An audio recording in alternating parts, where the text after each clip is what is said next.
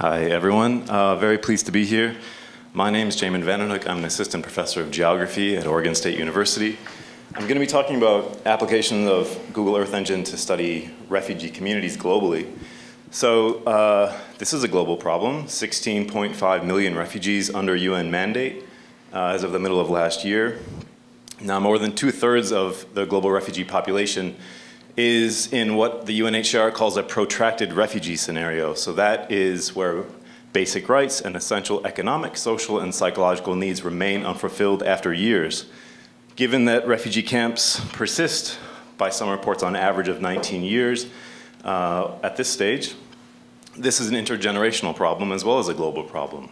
So securing the welfare of refugee communities is a pressing concern we know that that will become more of a challenge, I should have mentioned. We're focusing, uh, or most of the refugee camps are concentrated in Central Africa here, and this is also where we're expecting uh, extreme declines in cereal productivity um, by most models that IPCC is generating. We don't need to wait until 2050 to see these challenges. We're already seeing acute near-term food insecurity in these same regions today. so our question for this uh, research project is, have these refugee camps been systematically established in locations of relative environmental marginalization or climatic sensitivity? I'm going to be talking about three different variables we're looking at um, to assess this, precipitation, vegetative condition, and ecosystem sensitivity to climate variability, which is published uh, in Nature by Seddon et al. in 2016.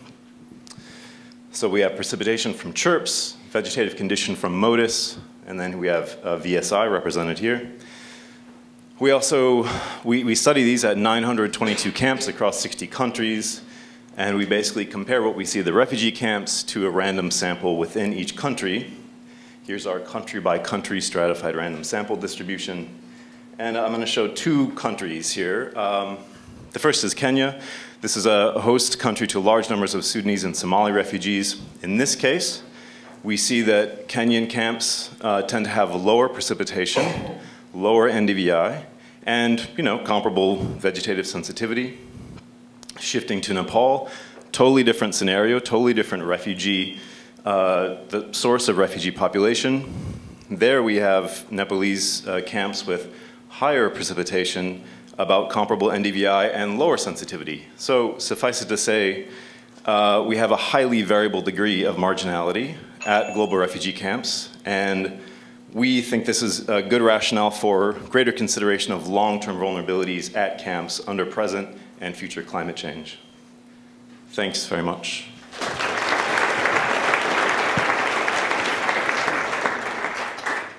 Thanks, Jeremy. This is just more of a comment, but it would be interesting to overlay some of the previous, uh, I forget the word, the, the transportation. Accessibility. Yeah, yeah, accessibility, and to see to what extent that it overcomes or ameliorates environmental factors. Yeah, that's a great point. I was taking notes on all these uh, talks. Um, we are dealing with some spatial statistics as well. Um, we haven't done anything nearly as advanced uh, as accessibility, but we're looking at proximity to roadways. Uh, I didn't show it here, but over half of refugee camps are within 50 kilometers of a national border, which they're geographically marginalized, it's out of sight, out of mind, and they're also put into a scenario where they're more sensitive to uh, concerns over security, being right across the border from the country that they just fled. So there's a, there's a strong spatial component that isn't captured by satellite imagery.